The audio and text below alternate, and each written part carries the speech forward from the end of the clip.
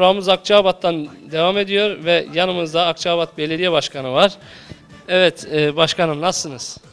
Teşekkür ediyorum. Hoş geldiniz. Hoş bulduk. Şu anda Akçabat'ı tanıtıyoruz. Sizleri de böyle bir e, ziyaret edelim dedik. Sizleri böyle sevdiğimiz için Akçabat'ımızı çünkü baya bir emeğiniz geçti Akçabat'ımızda. Çok güzelleştirdiniz sahil. E, bu konularda bizlerle neler paylaşmak istersiniz? Ee, Akçabat e, biliyorsunuz Doğu Karadeniz bölgesinde ama Doğu Karadeniz bölgesinden e, biraz farklılıkları olan bir yer, özellikli bir yer. Farklı özellikleri olan bir yer. Bir öncelikle iklimi biraz daha farklı Doğu Karadeniz bölgesindeki diğer yerleşimlerden biraz daha farklı. Akçabat'ın iklimi sadece bu bölgenin Akçabat'ın batısında bir e, burun var. Yorosburnu deniyor. O Yorosburnu ile Trabzon'un ortalarına kadar Boztepe'ye kadar olan bu kesimde farklı bir iklim vardır. Böyle Karadeniz Akdeniz iklimi kar- e, karışımı bir iklim vardır ve dolayısıyla bitki örtüsü, yetişen ürünler her şey ona göredir Akçabat'ta. Yani Akdeniz'de yetişen birçok ürün e, burada da yetişir. Doğu Karadeniz sahillerinde geçmişte tütün yetişen tek yer Akçabat'ta bu Doğu Karadeniz. Diğer yerlerde olmazdı. Daha yağışlıdır. Vafkebir tarafına, Çarşıbaşı tarafına geçtiniz mi yağış miktarı artar. Trabzon'un öbür tarafına geçtiniz mi artar. Ee, oralar e, mesela çayırlar hiç kurumaz.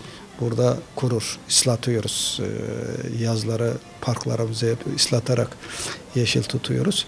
Böyle bir yer doğal limandır Akçabat.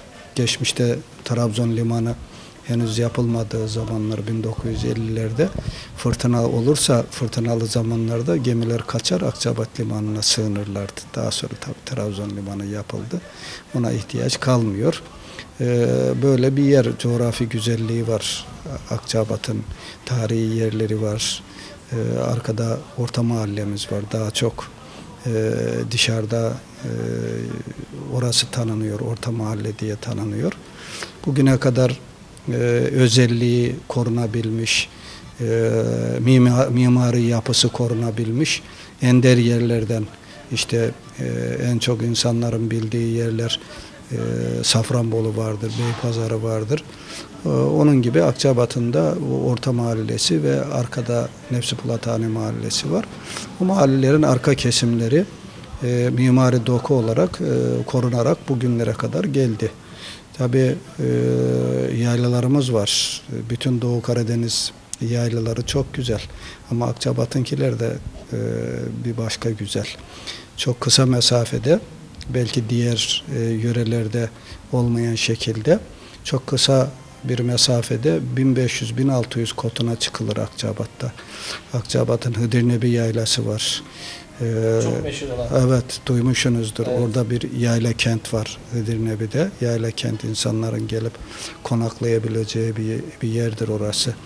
Ee, gene Kayabaşı yaylamız var. Işıklar beldemizin yaylası oluyor.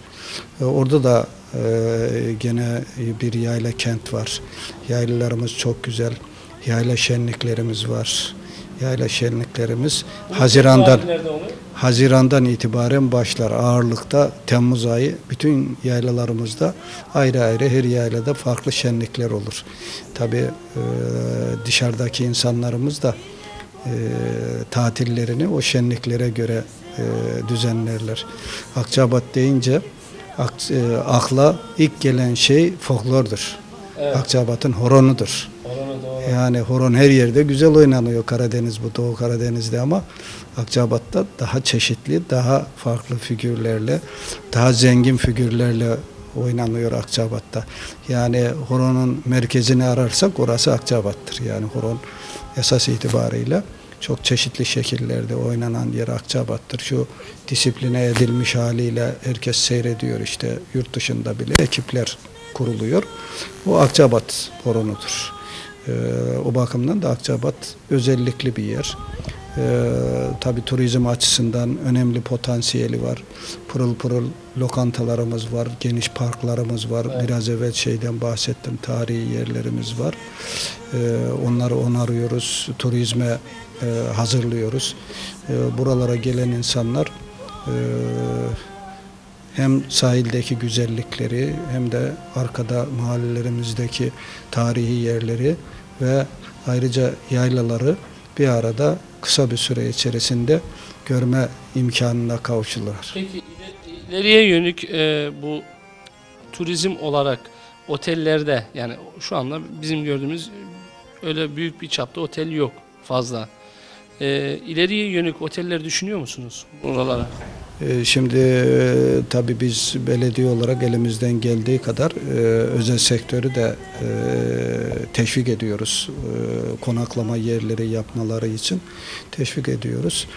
Giderek otel sayısı artıyor, yatak sayısı artıyor. Bizim belediye olarak şu anda tekelden devraldığımız bir bina vardı. Onu kiraya verdik. Uzun süreli kiraya verdik. Otel olarak yapılıyor, restore ediliyor. Ee,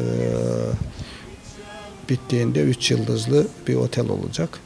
Ee, şehrin merkezinde bir bina. Ee, onun yanında yine e, epey otelimiz vardı. Yani 3-4 tane e, insanların gelip kalabileceği e, şeyde, güzellikte, temizlikte e, otellerimiz var. Yani dışarıdan gelenler için hiçbir sorun olmaz. Çünkü gurbetçilerimiz bize e, tabii ki yurt dışında olduğumuz için gurbetçilerimiz e, bizlerle bunu şunları paylaşıyor.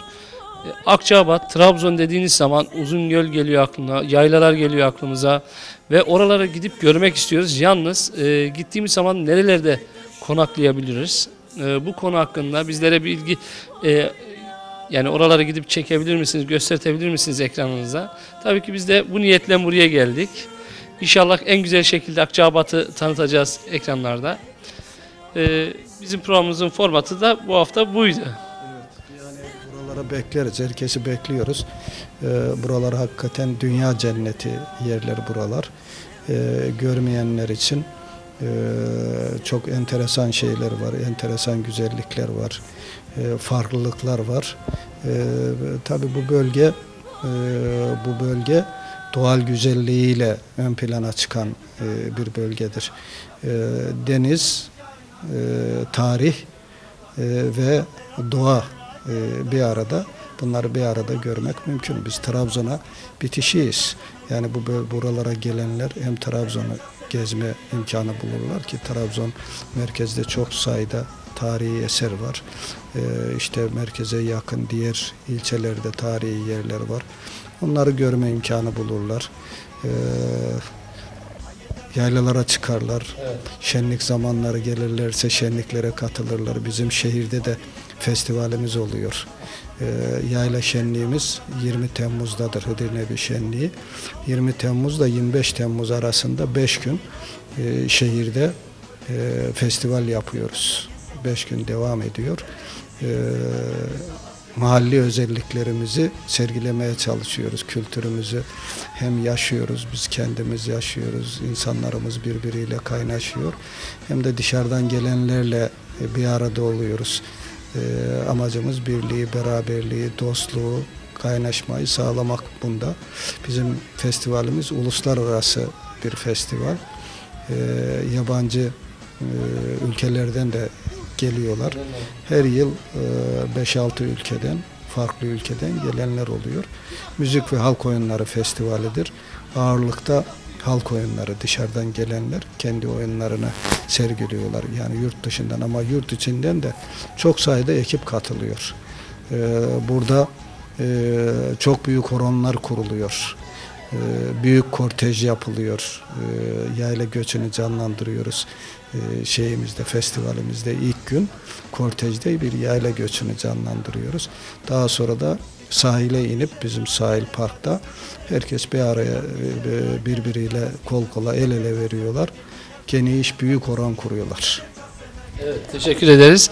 Son olarak eklemek istediğiniz bir konu var mıydı? Son olarak herkesi bu bölgeye davet ediyoruz. Gelsinler, görsünler. Ee, bizim insanımız yani bu bölgeden gidenler, Akçabat, Trabzon ve yakın e, yerleşim yerlerinden gidenler e, en azından yılın belirli zamanını gelsin burada geçirsinler. E, güneye gideceklerine E, Oralara da gitsinler ama buraları da ihmal etmesinler. Bizim hemşerilerimiz için söylüyorum. Ama dışarıdan olanlar da bu bölgeyi görmemiş olanlara da e, onları da davet ediyoruz. Geldiklerinde çok güzel şeyler görürler. Evet, teşekkür ederiz. Evet sevgili seyirciler, tabii ki Akçabat'ımızı tanıtmaya devam ediyoruz.